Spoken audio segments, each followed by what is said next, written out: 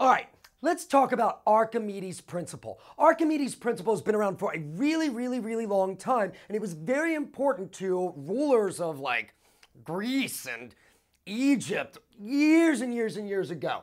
And we'll talk about why in just a minute. So, what Archimedes said was that the buoyant force is, on something is equal to the weight of the displaced fluid. Now, what does buoyant force mean? The buoyant force is the net force that is exerted on an object that's immersed in a fluid. All right? So we've got a force from the pressure on the bottom and a force from the pressure on the top. We add them together, we want the net force, and that's the buoyant force. And so what Archimedes said was that that buoyant force is the weight of how much fluid the object is displacing.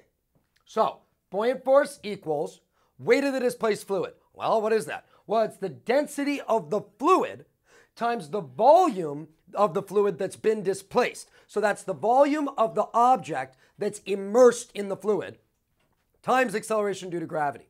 All right, now we have two major situations in which we can use Archimedes' principle.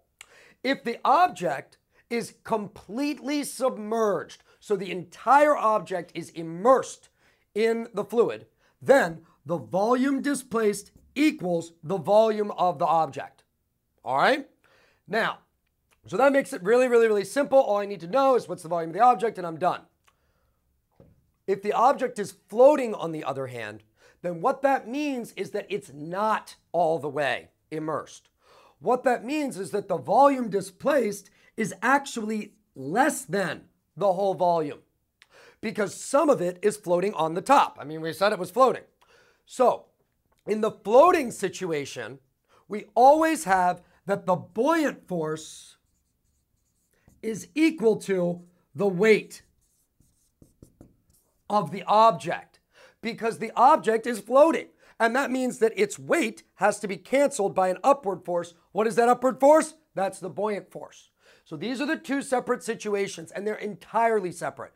We'll see that there are equations that you can derive that are perfectly valid when the object is fully submerged, but that are not true for floating objects. So you just need to be careful about that distinction. All right, so why is Archimedes' principle true? Well, we can look at a situation in which we've got an object immersed in a fluid like this. All right, now, what are the forces acting on this object? We're going to draw a free body diagram because we're good physicists. So we've got weight, and then we've got two forces that are acting from the fluid. The fluid has a pressure in it.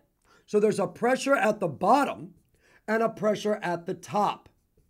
Now, Pressure is force per unit area, and it points in any direction. So the pressure at the bottom, the force that's acting on the object is pushing up because that's what direction. I mean, if it's going to push on the object, well, what, it's got to push up, right? So the upward force is pressure at the bottom times the area because force is pressure times area. Same way, pressure at the top is pushing down. So the downward force is pressure at the top times the area. Now, the buoyant force is the net force exerted on the object by the fluid. So that means that it's equal to pressure at the bottom times the area minus pressure at the top times the area. So the area I can take out because it's the same at the top and the bottom. So that means that it's the change in pressure times the area. Now, we know that as you descend into a fluid, the pressure increases. How much does it increase? Well, the change in pressure is given by the density of the fluid times acceleration due to gravity times how far you went down. Now here we went down a distance h. So look what we got here. h times a. That's the volume displaced. So that means that the buoyant force is equal to density of the fluid times acceleration due to gravity times the amount of volume that was displaced. So Archimedes principle. All right, why do people care? Well, one of the most um, enigmatic uses of this principle in history has been to determine the density of valuable objects like crowns and vases and things like that. Are they made of gold or is somebody trying to cheat me? All right, here's the idea. All you need to do is weigh the object in air and then weigh the same object when it's submerged in water. So why does this work? Well, here's the idea. When I weigh an object, basically what I'm doing is I've got a scale and I'm trying to measure how much force it requires for me to suspend the object. So I've got a tension force going up from my scale, and then I've got a weight going down, and these need to equal each other. So when I weigh it in air, the tension force is equal to mg, it's equal to the weight. What about when I weigh it in water? Well, when I weigh it in water, I've got a buoyant force now.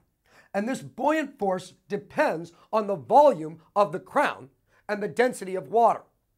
So that means that this buoyant force inside of it has information about the density. So when I look, this tension here, this tension is the weight of the crown in water. It's going to be smaller than the weight of the crown in air. And that difference is this buoyant force. And that buoyant force contains information that I can pull out about the density of the crown. And that's Archimedes' principle.